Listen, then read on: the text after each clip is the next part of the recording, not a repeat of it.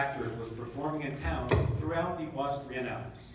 On December the 23rd, they arrived at a village near Salzburg, where they were to reenact the story of Christ's birth in a small church of St. Nicholas. Unfortunately, the St. Nicholas's church organ wasn't working and would not be repaired before Christmas. Because the church organ was without commission, the actors presented their Christmas drama in a private home. That Christmas presentation put assistant pastor Joseph Mohr in a very meditative mood. Instead of walking straight to his house that night, Mohr took the longer way home, the longer path which took him over a hill overlooking a village. From that hilltop, Mohr looked down on the peaceful, snow-covered village. Reveling in majestic silence of the wintry night, Mohr gazed down at the glowing Christmas card-like scene. His thoughts about the Christmas play he had just seen made him remember a poem he had written several years before. That poem was about the night when the angels announced the birth of the long-awaited Messiah to the shepherds on a hillside. Mohr decided those words might make a good carol for his congregation the following evening at their Christmas Eve service.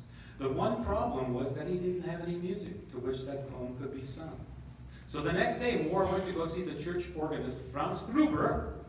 Gruber only had a few hours to come up with a melody which could be sung with a guitar. Gruber had managed to compose a musical setting for the poem. It no longer mattered to Mohr or Gruber that the church organ was inoperable. They now had a Christmas carol that could be sung without that organ.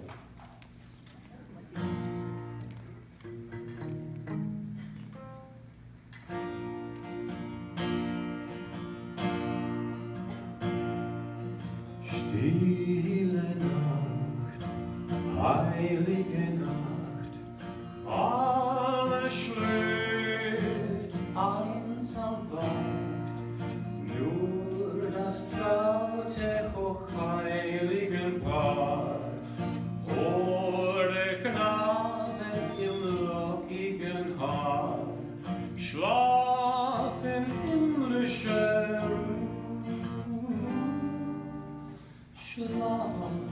in himmlische Ruhe.